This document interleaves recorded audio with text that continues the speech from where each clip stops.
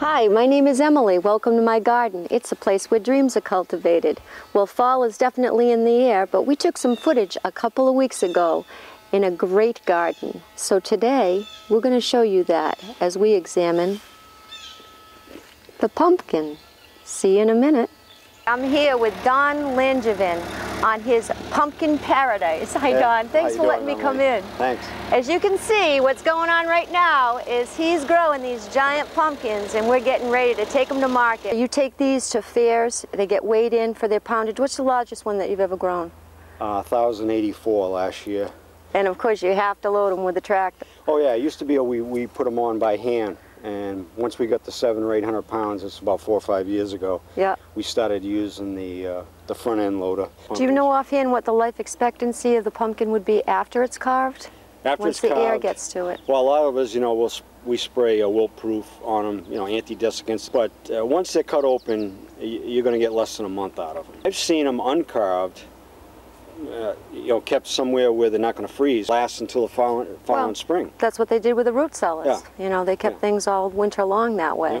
Do you have a secret with your fertilizer? Because I know that that's key, as long as well as the water and a good sun Not location. necessarily. It's a, it's a question of having a, a balance in your soil. Mm-hmm. And So you test. fortunately, we've learned the balance over the last 20 years for pumpkin. There's major plant nutrients you know of, NP and K, nitrogen, phosphorus, and, and potassium. And most pumpkin growers uh, overwhelm the soil with, with uh, fertilizer. So we don't have to worry about whether we're short on fertilizer at all. We Uh-huh. always have too much. Yeah. All right? But the question is, once you get your soil tests, is to balance it.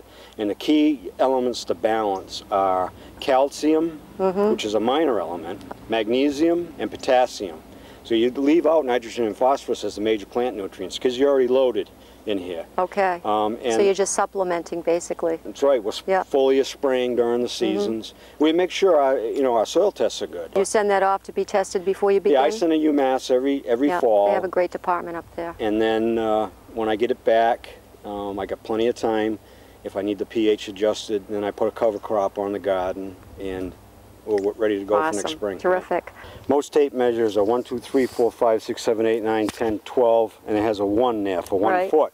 Okay. But then it starts 1, 2, 3 again. Yeah. All right? You don't find any any any uh, tape measures that go 12, 13, 14, 15, and this one goes all the way up to 192 inches. So this is something basically that you did come up with. This is Yeah. the Don Langevin tape measure for measuring pumpkins, and you can Yeah. purchase these too. Yeah.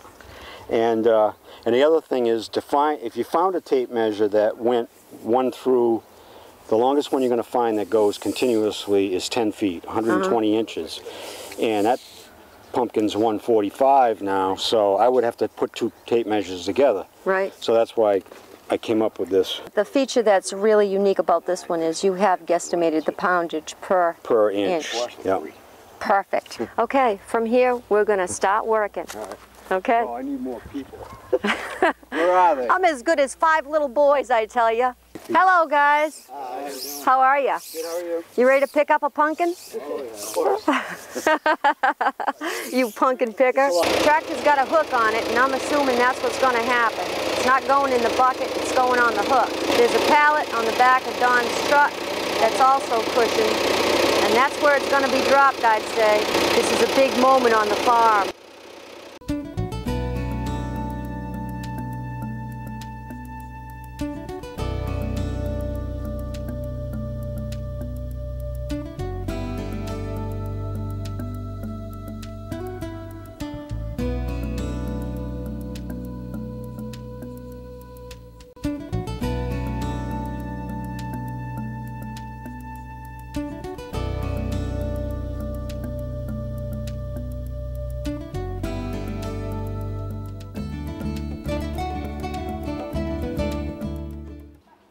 That's awesome. Well, that's it. The pumpkin's loaded. I want you to see what it looks like when it gets on that pallet. Looks like a Cinderella pumpkin, doesn't it? It does. Perfect. I want to thank you so much You're for welcome. allowing me to come down and see this. I love this stuff. Um, and before we close, you got to look at this. That's his license plate. Thank you once again. Thanks, Emily. Okay. See you in just a little bit.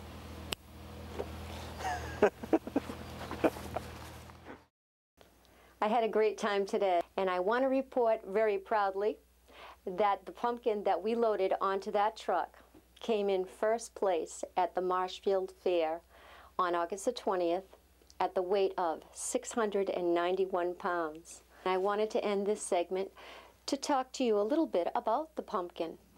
There are a lot of varieties that you can get out there. Of course, we examined the giant pumpkin today, but this is one of my favorites. It's called Illumina, little ghost pumpkin. There are a few ways that you can use these very special pumpkins.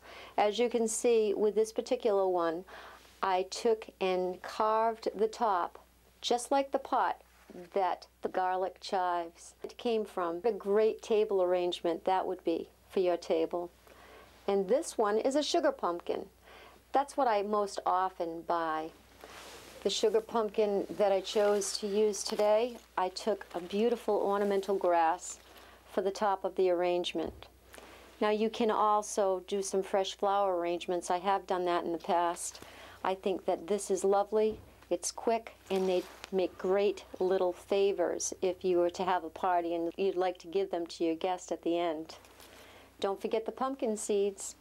Dry them out, put them on a cookie sheet with some oil and some salt and roast them for Halloween night one of the things I used to do with my children, they didn't like to eat on Halloween. They were just already in their costumes and they were just thinking about that candy.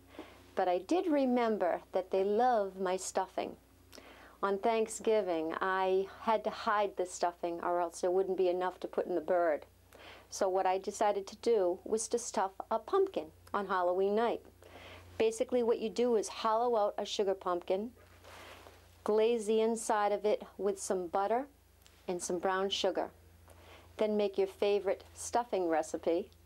Put that inside, top it with butter, and roast it. All right, the kids might not even eat the pumpkin, but if you slice it in wedges, they will eat the stuffing. And off they go, little trick-or-treating. And again, with the holidays coming up, the pumpkins will be around for a while, certainly for the harvest. You can use these little pumpkin gourds for vessels to serve cranberry sauce, peas, and don't forget the lighting. I'll see you here next time in Emily's Garden. Happy fall!